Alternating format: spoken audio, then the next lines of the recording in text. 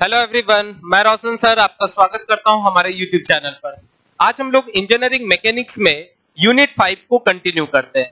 Unit five में हम लोग सिंपल मशीन पढ़ रहे थे और उसमें बहुत सारा लेक्चर लिए हैं जिसमें उसके डिफिनीशन पार्ट के बारे में बताए थे। आज के लेक्चर में हम लोग पढ़ेंगे differential axle and wheel previous lecture में हम लोग पढ़े थे सिंपल व्हील एंड एक्सल ठीक है? तो चलिए स्टार्ट करते हैं।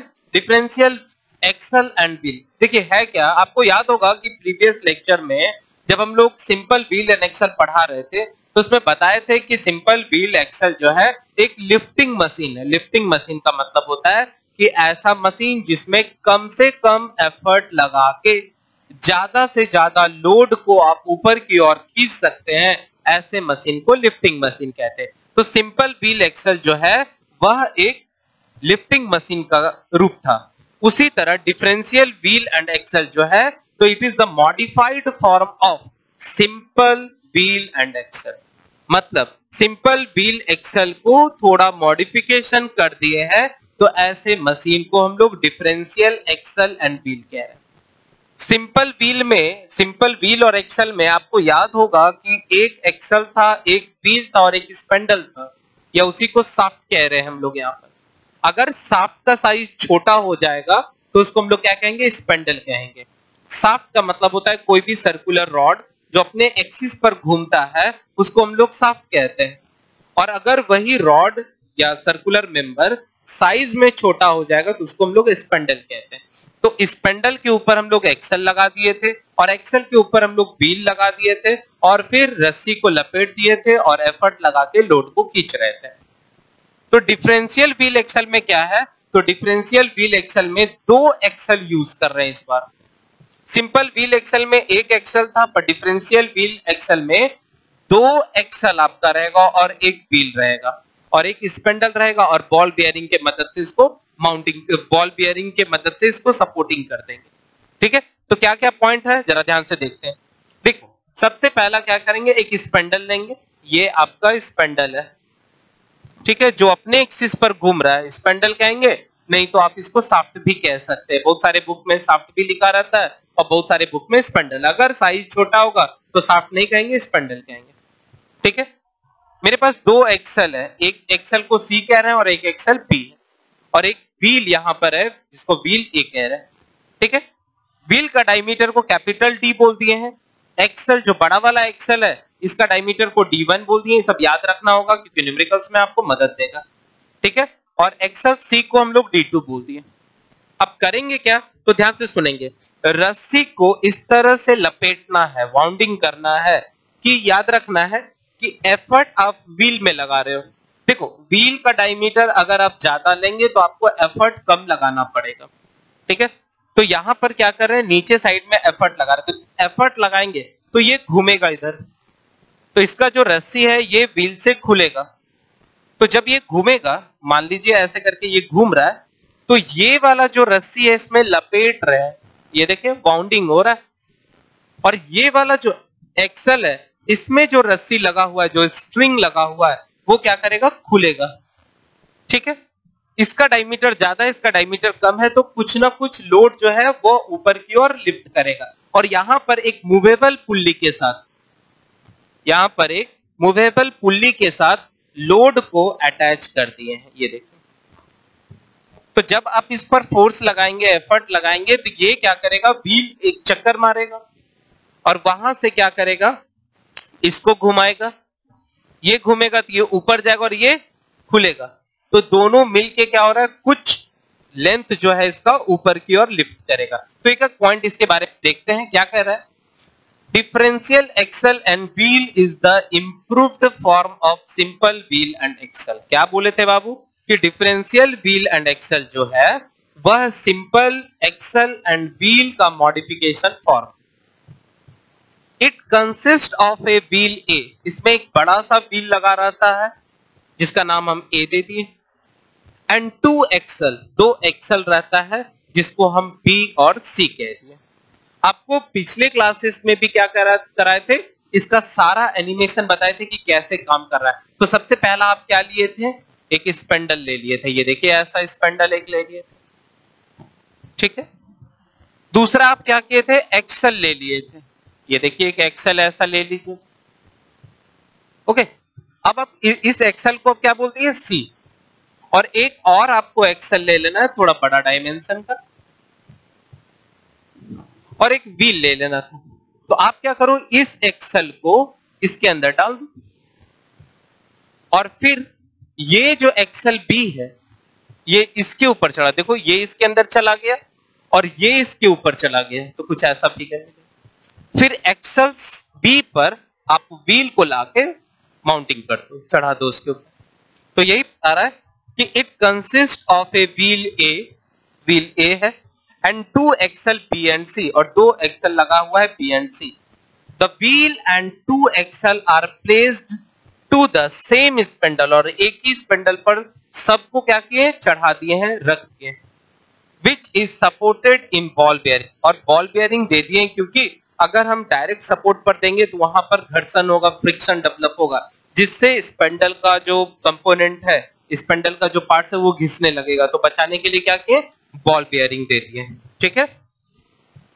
The effort is applied to the string which is wound round the wheel A हम लोग कहाँ पर एफर्ट लगा रहे हैं? व्हील ए पर लगा रहे हैं। इसमें से रस्सी को लपेटा गया है कि जब इस पर फोर्स लगाओगे तो रस्सी खुलेगा। ठीक है? Another string is wound on the two axle B and C और जो दूसरा रस्सी का पार्ट लिए हैं उसको हम लोग बी और सी पर लपेटे हैं और ऐसा लपेटे हैं कि बी पर वह लपटा है और सी पर वह खुले। तो वही चीज़ यहाँ लिखा हुआ the string on the wheel ध्यान देंगे। The string on the wheel smaller axle are in the same direction मतलब व्हील और स्मॉलर एक्सल का जो रोटेशन मतलब जो में खुल रहा है, वह एक ही डायरेक्शन में। देखिए लिखा हुआ है the string on the wheel ठीक है? And axle are in the same direction where is in bigger axle it is in opposite direction इसमें अपोजिट डायरेक्शन में, देखिए, आप इसको खींचोगे तो ये ऐसे खुलेगा, ये भी खुलेगा, पर ये लपटाएगा। क्लियर हो रहा है? अब यहाँ से जो इंपॉर्टेंट चीज़ हमको निकल के आ गया कि क्या क्या आ गया तो distance moved by the effort in one revolution एक चक्कर मारेगा, कौन मारेगा? तो व्हील तो एक चक्कर में इसका सरकमफरेंस कितना हो जाएगा? पाई डी तो इसको कहेंगे distance moved by the effort okay चलिए, अब क्या करेंगे? Length of string that bound on the bigger axle अब इस पर कितना लपटा रहा है ये पता करते हैं। तो जब ये एक चक्कर मारेगा तो ये भी एक चक्कर मारेगा तो कितना होगा? तो circumference pi D one D क्या है बाबू? तो D diameter of the wheel D one क्या है? Diameter of the bigger axle और length of string that unbound on the smaller axle और स्मॉलर एक्सल पर क्या होगा? खुलेगा। तो कितना खुलेगा एक चक्कर में? तो पाई डी टू देखो, एक ही स्पेंडल पर रखा हुआ इसलिए नंबर ऑफ़ रिवोल्यूशन सबका सेम होगा। तो पाई डी टू तो एक्चुअल में टोटल क्या हो रहा है? देखो लोड क्या हो रहा है? इसमें इसमें रस्सी जो है से लपेट रहे हैं और इसमें खुल रहा है। तो आखिर रस्सी कितना जो है, वह ऊपर की ओर लिफ्ट कर रहा है। The net length of the string which get bound on the bigger तो कितना लेंथ जो है रस्सी का, वह बिगर एक्सेल पर बाउंडिंग हो रहा है, लपेटा जा रहा है। तो आप क्या करो, पहला वाला का निकाल लिए हो that is called pi D one दूसरा वाला जिसमें खुल रहा है पाई डी टू ठीक है? मान लीजिए पाँच रुपया मेरे पास था, दो रुपया हम किसी को दे दिए तो बचा कितना? तीन रुपया। तो पाँच रुपया से लपटा रहा है। दो रुपया खुल रहा है तो टोटल कितना मेरे पास बचा? तो पाई डी टू ठीक है? Sorry pi D one pi D one minus pi D two है ना? ज़्यादा में से कम। तो यहाँ से ये पता चल गया। अब यहाँ से ध्यान दीजिएगा। तो देखो एफर्ट के लिए डिस्टेंस आपको पता चल गया पाई डी लेना है। अच्छा net length of the string which get bound on the bigger axle वो भी पता चल गया pi D one minus pi D two अब हमको ये पता करना है कि आखिर लोड कितना लिफ्ट कर रहा। ठीक है? तो याद रखना है कि कभी भी मूवेबल पुल्ली अगर यूज़ किया रहेगा, ध्यान देंगे, अगर कभी भी मूवेबल पुल्ली यूज़ किया जाता है तो वहाँ पर हम इसको हटा रहे हैं ऊपर से कि अगर आपका मूवेबल पुल्ली है तो ये ध्यान देना है कि मूवेबल पुल्ली जब भी रहता है तो उसमें जो लोड लिफ्टेड होता है, वह डिस्ट्रीब्यूट हो जाता है। हाफ़ हो जाता है। तो अभी क्या पढ़े थे? Net length of the string which get bound on the bigger axle bigger axle पर कितना रस्सी को लपेटा गया है? तो वहाँ से पता चल गया कि इसमें पाई डी वन लपेटा गया है, पर पाई डी टू इसमें खुल रहा है।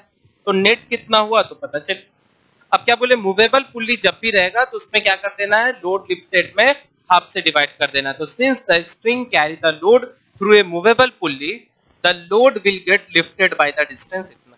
ये कैसे हाफ़ होता है? तो उसका आप मूवमेंट निकालेंगे। जैसे मान लीजिए ये आपका मूवेबल पुल्ली है और ये आपका लोड यहाँ पर लोड है, यहाँ पर एफर्ट है। ठीक है? इस केस के लिए तो आप मूवमेंट अगर निकालोगे तो वहाँ फाइनली रिलेशन आता है कि एफर्ट और लोड के बीच में जो रिलेशन होता है वह हाफ़ हो जाता है।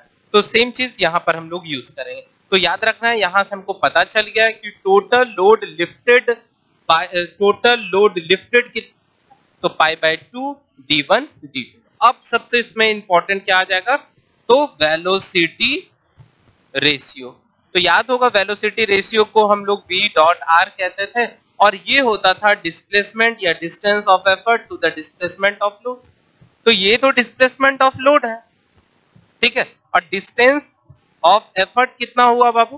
तो पाई डी है ना? ये एफर्ट यहाँ पर लग रहा है।